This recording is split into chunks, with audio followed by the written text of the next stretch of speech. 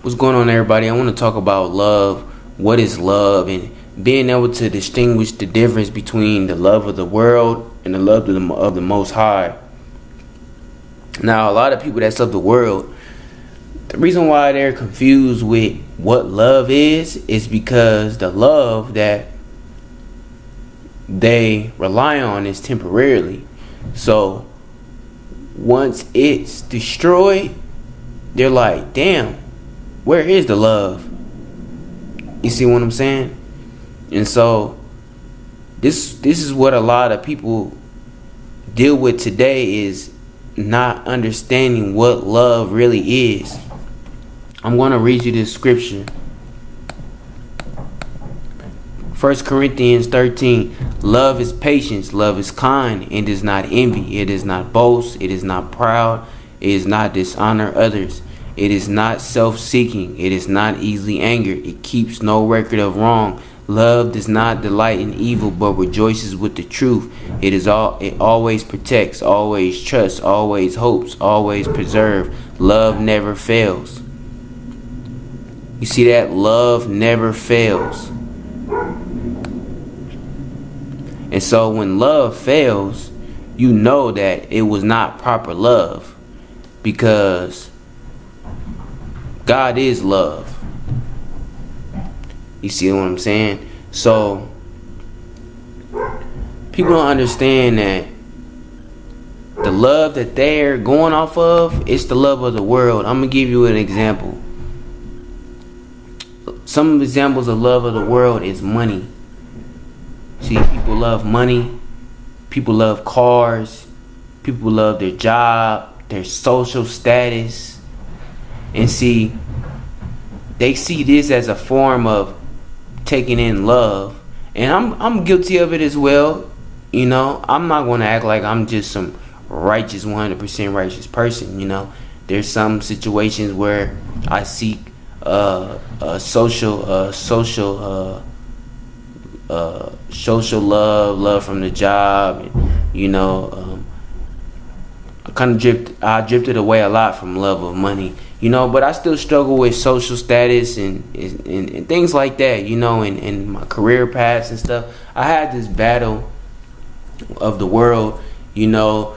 It's like you have to be able to, you know, that God gave you an anointing to do something in this world but you have to be able to understand that you can't love these things. You see what I'm saying? Because these things are material things. These things is not guaranteed salvation. So this type of love is temporarily. A career path is temporarily. You see what I'm saying? But your gift is forever. You see a car is temporarily. You see money is temporarily. But your spiritual wealth is forever. Social status, I mean, that's temporarily. Accounts get deleted, blocked, uh, whatever. You know, and back to money. You, you see what happened to Kanye. You know, they took all his money.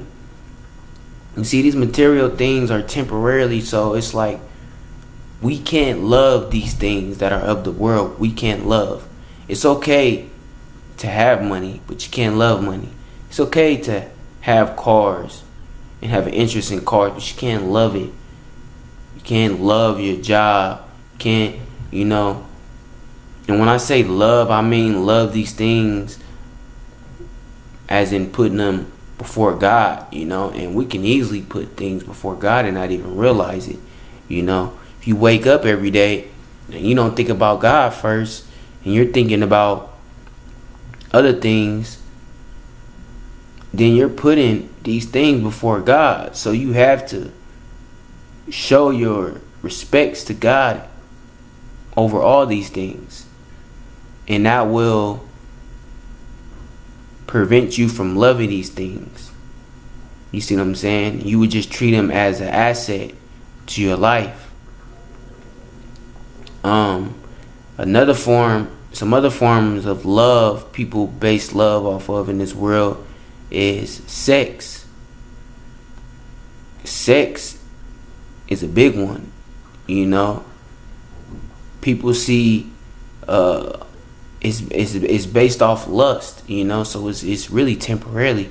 That's why people get in these relationships and they be in the honeymoon stage and they be having all this sex or whatever. Uh, and so after about a couple years, they fall out of love.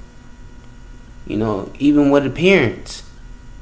They be with these people for so long and they fall out of love with them. It's like they they get tired of them. You see? But the thing is, it's not that they got tired of them. It's that their love came based off lust. Lust is not forever. It's temporarily. It's of the world.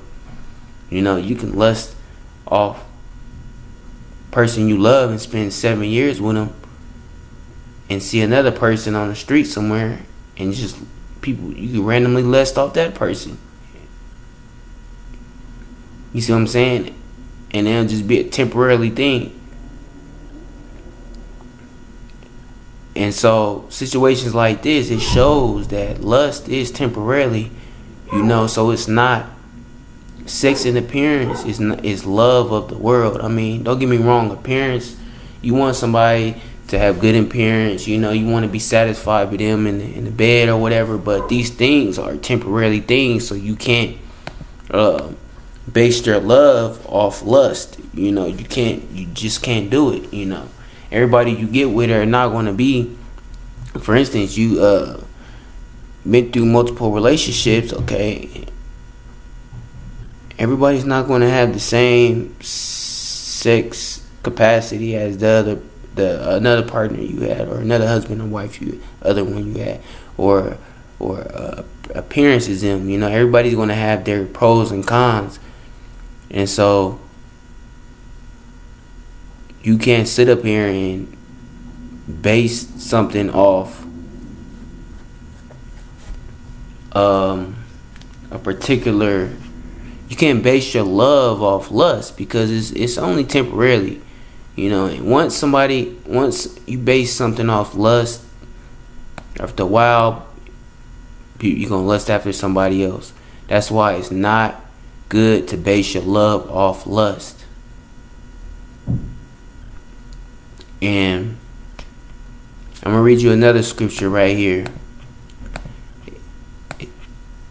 First John 4 7 21. Um, okay. Beloved, let us love one another, for love is from God, and wherever love have been born of God and knows God. Anyone who does not love does not know God, because God is love. In this, the love of God was made manifested among us, that God sent his only Son in this world so that we might live through him. Now, this is true love. You see, love is God is love. So, when you operating with the Holy Spirit, when you're when you're operating in the Spirit, you, you're operating in God's love. So God's love is true love. Therefore, it can't fail. So what I'm when I'm when I'm what I'm trying to what I'm trying to get to is when you operating in the spirit of love from God, it lasts. When you operate in the spirit for the love of the world, it doesn't last. So we have to we have to love covers a multitude of sin. Love does not envy. Love does not boast. That scripture that I showed you, that's the true meaning of love. And love makes a person not want to love the things of the world. True love makes a person not want to love the things of the world. When you love God, when you got when you have God's love, it does not want you it it, it convicts you to not want to love money, cars, jobs, social status, um uh, lust, sex, appearance. It convicts you of that. When it convicts you of that, you have to make the changes. Because if you don't, you're going to cross back over to the love of the world. You see what I'm saying? And it's not going to be pleasant for you because, especially when you have been anointed, you know, you're going to feel that pain. You're going to feel that that wickedness over on your shoulders. You're going to feel that weight if you're moving off the love of the world. You're going to feel the weight. You see what I'm saying? So you want to be careful about loving the things of the world and the things that are loved in the world. Rather, it's best to love God who is out of this world, but who is over this world. This is true love.